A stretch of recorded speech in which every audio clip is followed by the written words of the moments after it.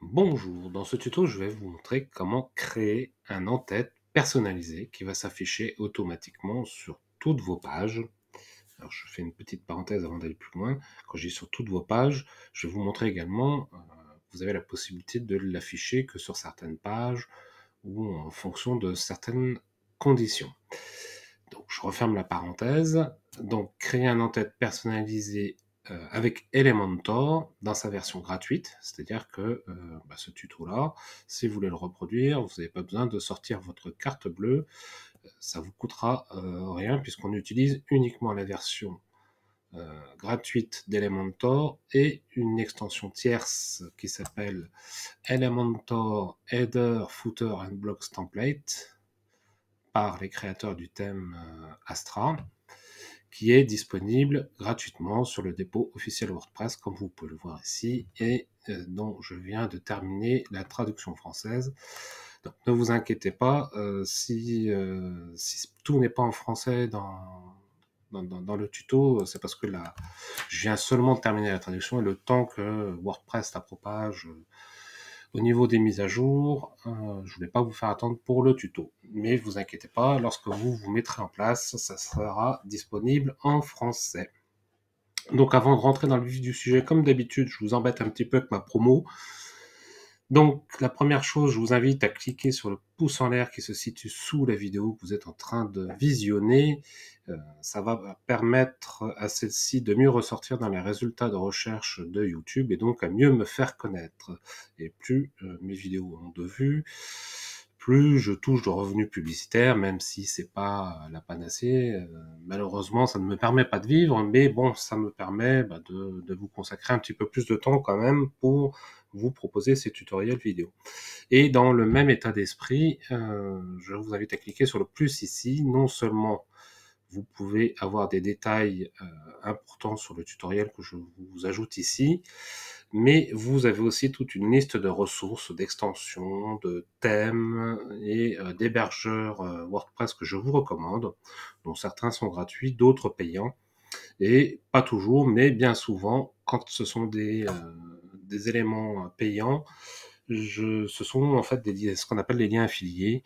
Euh, c'est-à-dire que si vous réalisez l'achat après avoir cliqué sur le, lien concernant, donc là par exemple si vous, achetez un hébergement chez O2 Switch, que vous n'êtes pas encore client chez eux et que vous passez par ce lien-ci, je touche quelques euros euh, sur chaque vente sans que ça vous coûte un seul centime de plus. Donc ça peut être un bon moyen de me remercier et ou de me motiver pour réaliser de nouveaux tutoriels vidéo, en sachant que ça prend du temps. Donc, euh, euh, bah, plus vous serez nombreux à euh, me faire gagner un peu d'argent comme cela, plus je pourrais vous consacrer de temps. Alors bien sûr, il ne faut pas acheter pour acheter. Si vous n'avez pas l'utilité, ne vous embêtez pas à acheter. mais simplement si, par exemple, on va revenir à, de Switch. Si vous avez l'intention de, changer d'hébergeur et que vous êtes convaincu par ou Switch, qui est un très bon hébergeur et qui est 100% français, je vous recommande volontiers. Non pas seulement parce qu'il me rétribue, mais parce que je suis un utilisateur convaincu. Et euh, bah, si vous vous renseignez à droite à gauche, vous verrez que euh, c'est ce que vous diront la plupart des personnes qui ont testé. Donc, si, si vous passez par eux, vous payerez 72 euros TTC euh, que, que, vous achetez en direct ou vous passiez par le lien affilié. Donc, pensez-y. Ça vous coûte rien de plus et euh, ben moi, ça peut me permettre de vous faire de nouvelles vidéos qui donc vous permettront d'aller plus loin dans votre création de site WordPress sans avoir à sortir la carte bleue. Donc, je pars du principe que vous avez installé et activé euh, l'extension Elementor Header, Footer and Blocks Template. Et euh, je vais vous montrer quand même le résultat avant d'aller dans le vif du sujet. Euh, donc, pour vous montrer le résultat, j'ai créé un en-tête personnalisé, mais que je n'affiche que sur les pages d'archives. Donc, page d'archives, je vais vous montrer. Donc, il faut que j'aille dans Blob. Voilà. Donc là, vous voyez, j'ai un en-tête qui s'affiche sur toutes les pages. Et par contre, si je vais sur l'archive d'auteur, vous voyez, j'ai un, en-tête différent. Donc là, je vais vous montrer le principe de fonctionnement de l'extension. Et donc, à partir du moment où vous avez euh, installé et activé l'extension, je vous invite à aller dans Elementor Réglages. Vous allez vite comprendre. Voilà. Et faire en sorte de cocher la case ici Elementor Header, Footer and Block Templates afin de pouvoir euh, utiliser Elementor dans la création de vos entêtes et pieds de page. Une fois que vous avez coché la case ici, vous allez vous rendre dans Apparence et vous allez voir qu'ici, il y a un menu supplémentaire qui s'est ajouté, Header, Footer and Blocks. Vous cliquez dessus. Donc là, vous voyez, on retrouve mon, en-tête personnalisée qui s'affiche euh, voilà, sur toutes les archives. Vous voyez, vous avez les règles d'affichage. Hein. Donc en fait, si vous avez plusieurs éléments, ils vont être tous listés ici, comme, comme la page qui liste les articles, comme la page qui liste, liste les pages, pardon.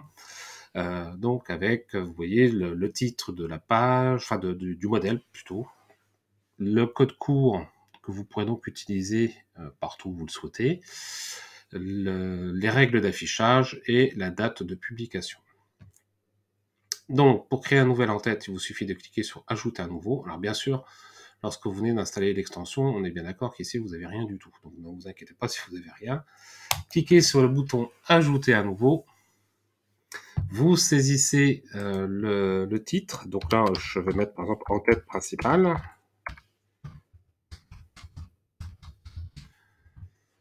Pour ne pas donner deux fois le même nom à, plusieurs modèles. Ensuite, euh, ici, il faut sélectionner le type de modèle. Donc voilà, il vous propose en tête euh, avant le pied de page, le pied de page ou un bloc personnalisé. Donc nous, c'est bien un en-tête qu'on veut faire. Et vous voyez qu'en fonction du type de modèle que vous sélectionnez, il vous propose d'autres options. Donc là, vous voyez, on a les règles d'affichage. Donc, euh, pour rappel, ça sera traduit quand euh, vous mettrez en place le tutoriel. Donc, sélectionnez... Euh, alors, nous, on va faire, pour ce tutoriel, on va vous montrer sur tout le site web. Mais vous voyez que vous avez plusieurs possibilités de conditions. Donc, sur tout le site web, sur tous les uniques, donc que ce soit les pages uniques, les, euh, articles uniques, les publications uniques, euh, voilà. Les archives, ensuite les pages spéciales, donc le page de 404, erreur, page de recherche, page de, blog euh, ou d'article, page d'accueil, archives de date, archives d'auteur. Ensuite, au niveau des articles, on a tous les articles, les archives d'articles, les archives de catégories, les archives des d'étiquettes, euh, toutes les pages, tous les modèles, tous les archives de modèles. Et au niveau Elementor, euh, voilà, vous avez donc plusieurs, euh, plusieurs choses et vous pouvez même faire du spécifique, donc page, publication spécifique, search page, voilà, vous saisissez pardon, le, nom de, la page que vous recherchez et vous allez avoir une liste et vous aurez plus qu'à sélectionner. Donc nous, on va revenir à, euh, sur tout le site web. Et en fait, vous pouvez euh, ajouter plusieurs règles.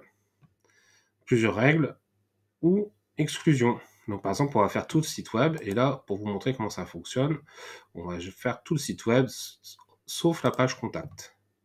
Donc on va ajouter une exclusion. Donc, notre display on, donc ne pas afficher sur. Donc là, ça va être une page.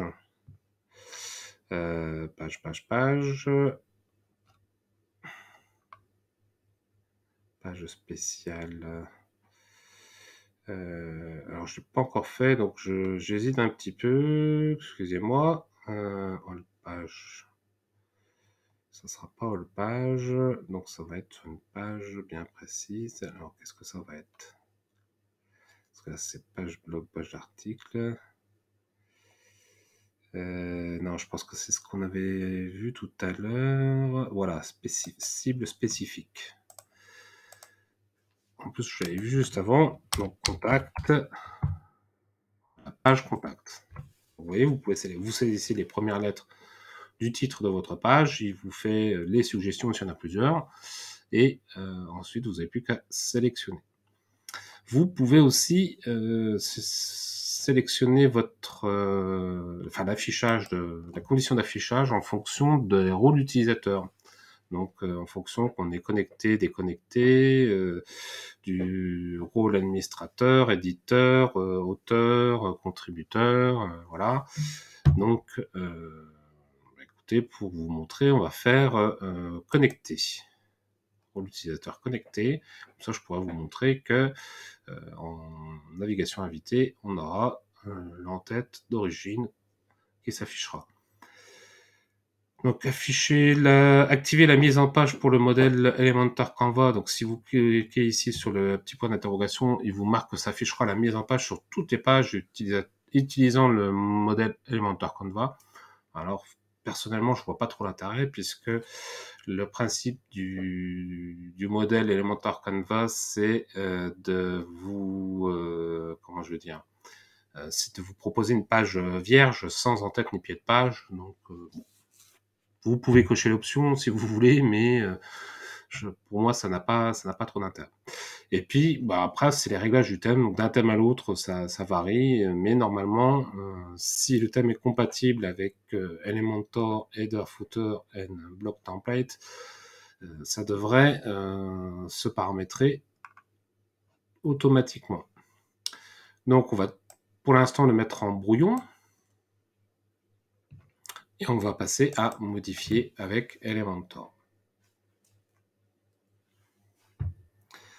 Voilà, et donc là, vous avez votre page blanche et vous allez pouvoir créer votre, euh, votre en-tête. Donc on va, faire, euh, je, bon, je vais vous montrer les bases, hein, je ne vais pas faire quelque chose de très évolué, euh, simplement pour vous expliquer le principe de fonctionnement. Donc en fait, vous allez construire votre en-tête exactement de la même façon que vous construisez une page avec Elementor, donc en utilisant une ou plusieurs sections, une ou plusieurs colonnes, et euh, dans ces euh, sections et colonnes, vous allez utiliser un ou plusieurs widgets. Donc ce que je vous propose de faire, c'est de repartir sur du, simple. On, va faire quelque chose qui va ressembler un peu à ça. Euh, sauf que je vais mettre un logo. Là, j'avais utilisé une icône. Un logo avec un, menu et allez, éventuellement, on va mettre une barre supérieure c'est un petit peu la chose.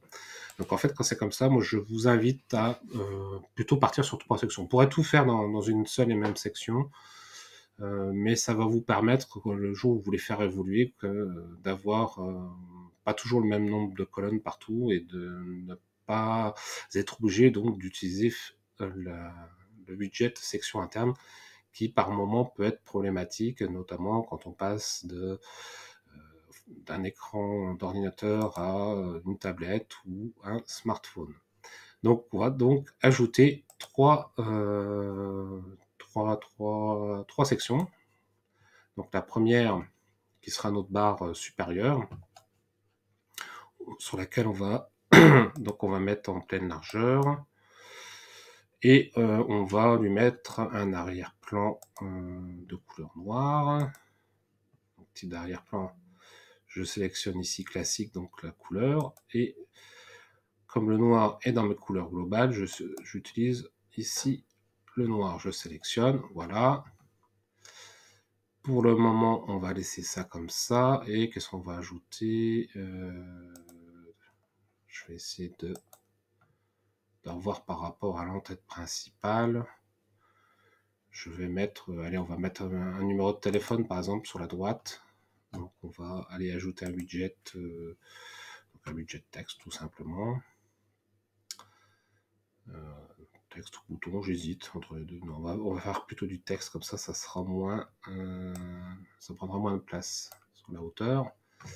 Voilà. Donc on va faire par exemple tel Et puis, donc on affiche un numéro au hasard, 06 hein, Et donc, on va aller ensuite au niveau Donc, on affiche sur une seule colonne. Euh, ici, on n'a rien de particulier à mettre.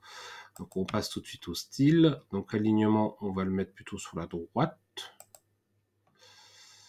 Euh, je j'aurais peut-être pas dû mettre en pleine largeur. On va, on va y revenir après. Hein. On va, on va tâtonner un petit peu et après on va, euh, on va régler tout ça. Donc, couleur du texte, là, on va mettre en blanc. Et la typographie, je n'y touche pas. au niveau taille, pour l'instant, on va laisser comme ceci. Et la seule chose que je vais faire, c'est euh, au niveau marge interne. C'est bon, on n'en a pas. Ici, on n'en a pas non plus. Je voulais vérifier. le restant, ça va se passer plutôt au niveau de la section. Donc, on va euh, publier. Allez, on va pas s'embêter. Comme c'est un site de test, c'est pas bien grave. Et donc, on va aller regarder ce que cela donne. Voilà. Donc on a bien notre barre noire avec notre numéro de téléphone. On va voir côté directement sur le site, voir ce que ça donne. Donc vous voyez, on a bien notre barre hein, qui s'affiche ici avec notre numéro de téléphone. Donc maintenant, ce qu'on va faire, c'est que le téléphone, on va faire en sorte qu'il soit un peu, un peu moins sur la droite. Donc pour ça, on passe au niveau des réglages de la section. On positionne la souris sur les poignées d'édition, on fait un clic droit et on clique sur modifier la section. Et donc là, au niveau de la mise en page, souvenez-vous, j'avais mis en pleine largeur. On va revenir en encadré. Et par contre, on va faire le maximum de l'encadré, voir ce que ça donne.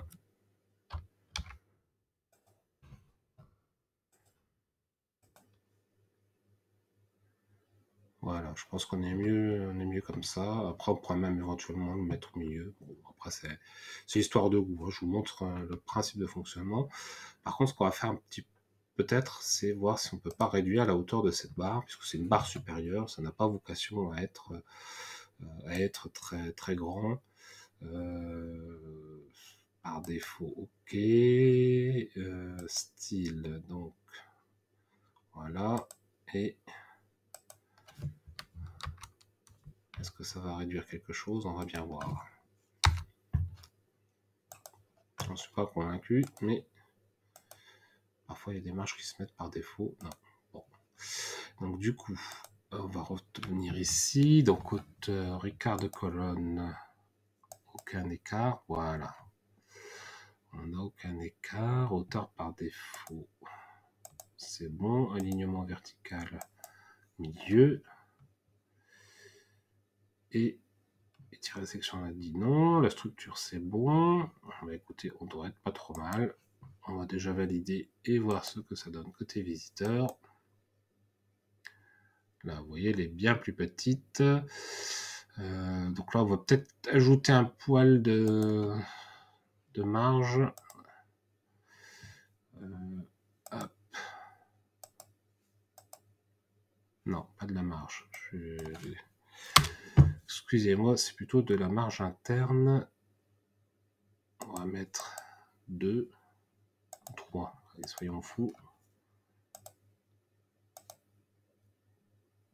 Voilà, histoire que le, soit que le texte soit pas collé.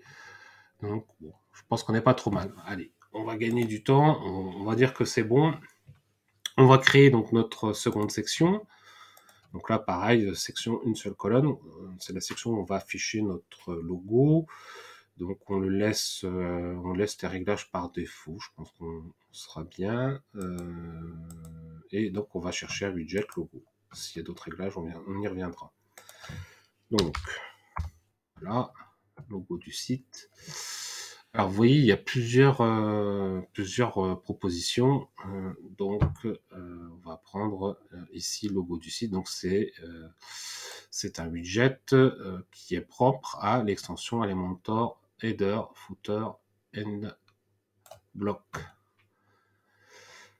Et donc du coup, c'est euh, c'est une euh, comment je veux dire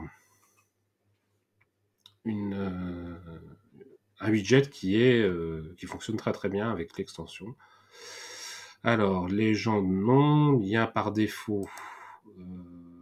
donc ça devrait être le, le titre du site. Normalement c'est bon. Par contre image, là comme mon thème ne propose pas de, logo par défaut. Il faut forcément que j'aille chercher une image personnalisée, mais selon le thème que vous utilisez, il a peut-être, euh, vous avez peut-être la possibilité de paramétrer le logo dans, vous savez, dans la page apparence personnalisée, ce qui n'est pas le cas du thème euh, Suki. on peut, on peut mettre un logo, mais c'est uniquement si on l'utilise avec le thème Suki. Donc là, ça fonctionne pas. Donc, on va chercher dans notre médiathèque notre logo. Si on n'en a pas d'affiché, on le, on le téléverse, bien sûr. Donc, insérer un média. Voilà. Alors, comme c'est euh, le logo semble être en blanc, euh, on va euh, mettre un arrière-plan de couleur, sinon on va rien voir du tout. Donc on remodifie notre section. On va dans style, donc type d'arrière-plan, les couleurs. Allez, on va voir avec celui-là ce que ça donne. Ça devrait être pas trop mal. On clique sur mettre à jour. On renouvelle notre page. Voilà, on a bien notre logo. Et si on clique dessus, on arrive bien à la page d'accueil. C'est bon. Donc, du coup, euh, bon. Après, c'est histoire de goût. Peut-être ajouter un petit peu de marge ou, pas, ou en enlever. Euh, on va bien voir. On va d'abord créer le menu en dessous pour voir ce que ça donne. Un menu. Donc, je crée une nouvelle section. Toujours pareil, poignée d'édition, clic droit, modifier section.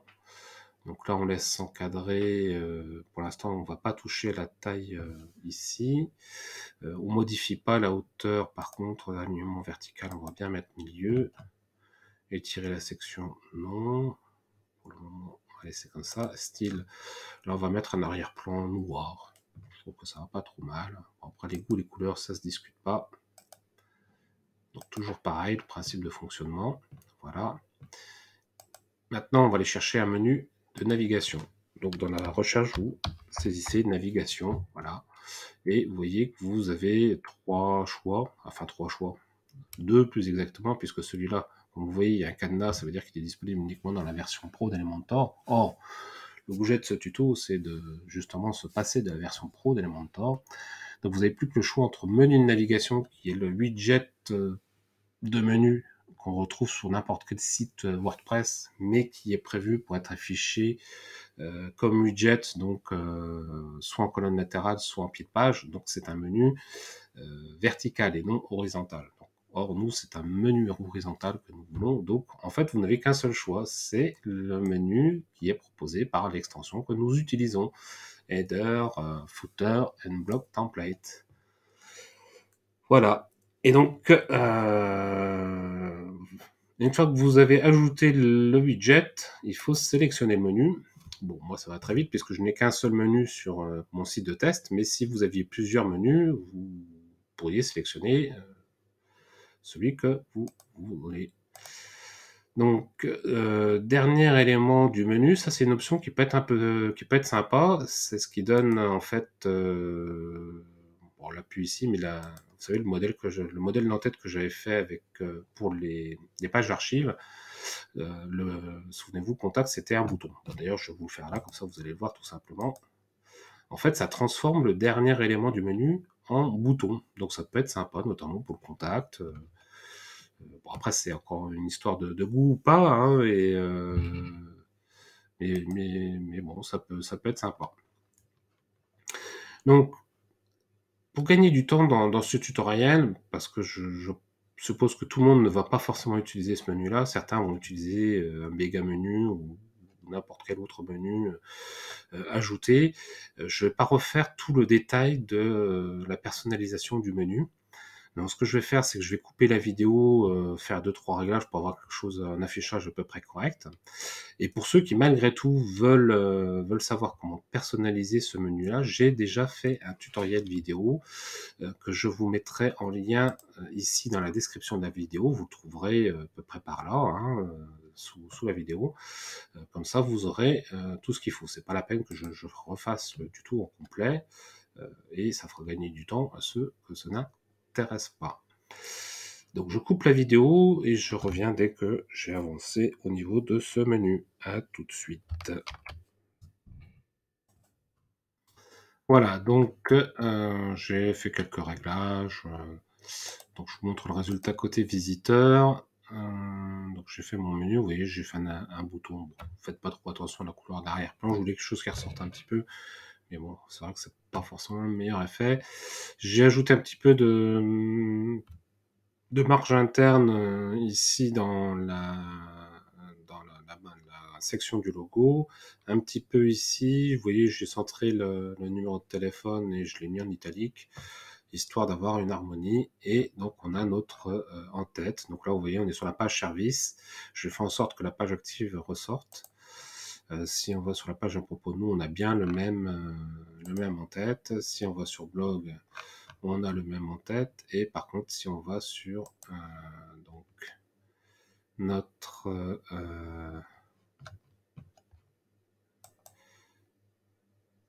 voilà, donc vous voyez par contre, du fait qu'on a mis sur toutes les pages, euh, il, il, ne, prend pas le, premier euh, en tête que j'ai fait. Donc pour cela, on va retourner dans, euh, dans notre tableau de bord. On va retourner au niveau de apparence, header, footer and blocks, et il faut qu'on ajoute donc une exclusion à notre à notre euh, en-tête principale, puisqu'il vient surclasser les archives. Donc on va exclure toutes les archives. Donc je modifie mon en-tête principale. Voilà. Et donc, euh, dans notre display on page contact, alors sont là. C'est vrai qu'on n'est pas, on n'est pas les voir sur la page de contact. Voilà, vous voyez sur la page de contact, il affiche l'entête par défaut. Hop, on va revenir ici. Et donc, on va, euh, dans notre display on, on ajoute une règle d'exclusion. Et donc là, sur toutes les archives, on n'affiche pas. Voilà. Donc, mettre à jour.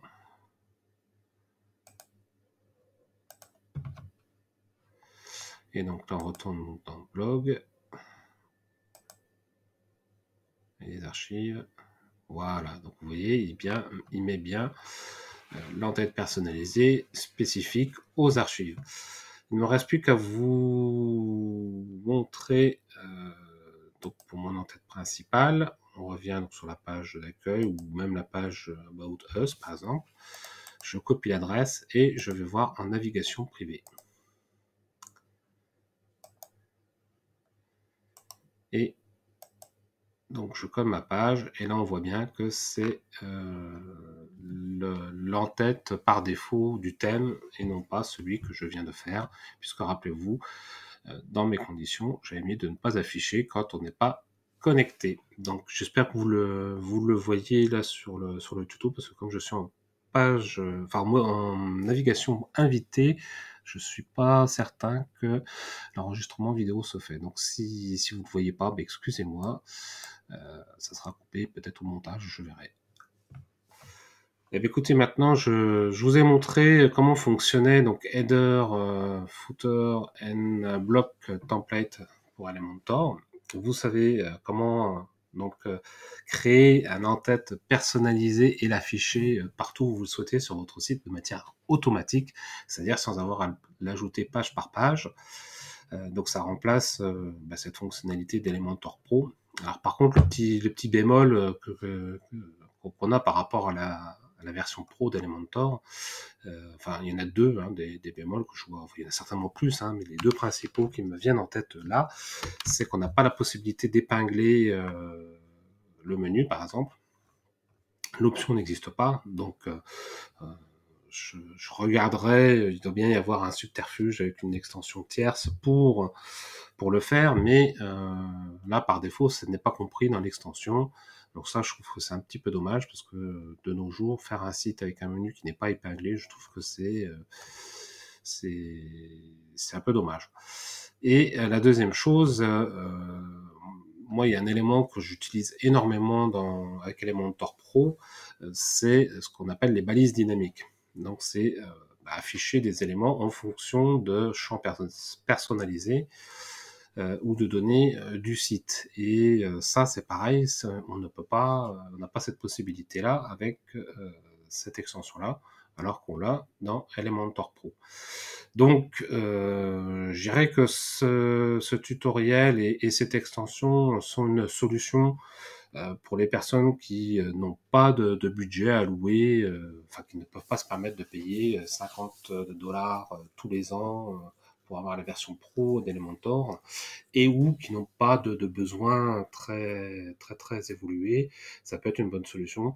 Euh, par contre, si euh, si vous créez des sites pour euh, des clients que vous avez plusieurs sites, sincèrement investissez dans la, la, la version pro d'Elementor franchement, vous allez gagner du temps, vous allez euh, euh, pouvoir faire des choses que vous ne pouvez pas faire euh, sans, la version pro d'Elementor. et ça va vous éviter d'ajouter X extensions pour pouvoir faire, par exemple, un en-tête avec un menu épinglé. ça, vous pouvez le faire avec Elementor Pro sans ajouter d'autres extensions. Parce que là, on a déjà une extension et il faudrait en ajouter une autre, voire deux. Enfin bon, je vais pas vous embêter plus longtemps avec ces choses-là. Euh, le tuto est terminé. J'espère que euh, il vous aura plu et qu'il euh, sera utile à de nombreux d'entre vous. Et il me reste plus que donc à vous dire à bientôt pour un prochain tuto. Et surtout, n'oubliez pas, cliquez sur le pouce en l'air juste en dessous de la vidéo que vous êtes en train de visionner. 爱的求求